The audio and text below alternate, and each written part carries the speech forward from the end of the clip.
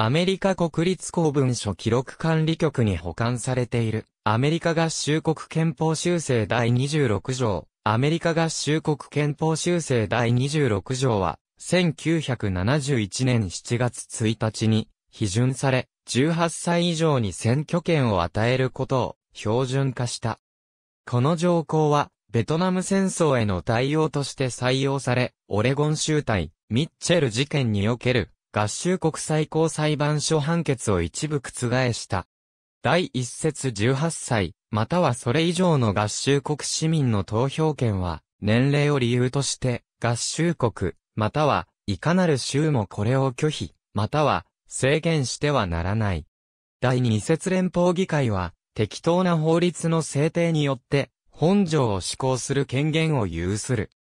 18歳以上に対する選挙権は、ドワイト・ディ・アイゼンハワー、リンドン・ジョンソン及びリチャード・ニクソン閣、大統領によって後押しされた。この修正条項に類似する法律が1970年に可決されたが、オレゴン州とテキサス州は裁判所で、その無効判決を出し、オレゴン州対ミッチェル事件における合衆国最高裁判所判決では、州の選挙に対して18歳以上の有権者登録を要求する法の一部を違憲であるとした。この時までにすでに4州が21歳以下の市民に選挙権を認めていた。連邦議会と州議会は選挙権のない若者が徴兵されて戦い死んでいくベトナム戦争のゆえに憲法の修正を成立させる圧力を強く感じるようになっていた。有権者年齢を下げることを主張する。者たちに共通して使われた。スローガン、戦えるだけの年齢、投票できる年齢は。第二次世界大戦にその根源があり、フランクリン・ルーズベルト大統領が。徴兵年齢を18歳まで下げていた。その考え方は、軍隊に徴兵されるに、十分な年齢の人々は、何時どのように軍隊が使われるかを決定する、文民政府の選出に発言すべきだということだった。有権者年齢を下げることについて、何人もの大統領が議会に憲法修正を提案するよう要求したが、どの試みも、オレゴン州対ミッチェル事件の判決が出るまで大した成果もなかった。この時、47の州は、新しい連邦の要求に従って、有権者年齢を合わせるか、多額の納税者の金を支払って1972年の選挙の日に年齢差別のある投票という混乱のリスクを犯すか、どちらかを強いられることになった。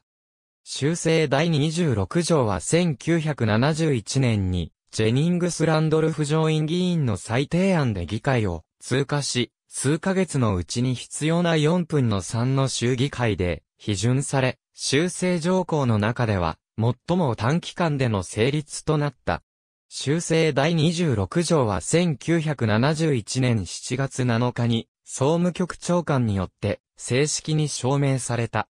連邦議会は1971年3月23日に修正第26条を各州に提案した続いて次の州が修正条項を批准した。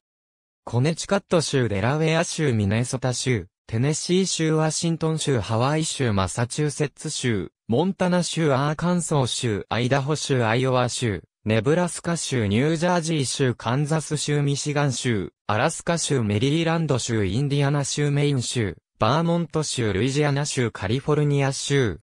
コロラド州ペンシルベニア州テキサス州、サウスカロライナ州ウェストバージニア州ニューハンプシャー州、アリゾナ州ロードアイランド州ニューヨーク州オレゴン州、ミズーリ州ウィスコンシン州イリノイ州アラバマ州、オハイオ州ノースカロライナ州オクラホマ州、修正条項の批准に必要な39州の批准は、1971年7月7日に、総務局長官に証明された。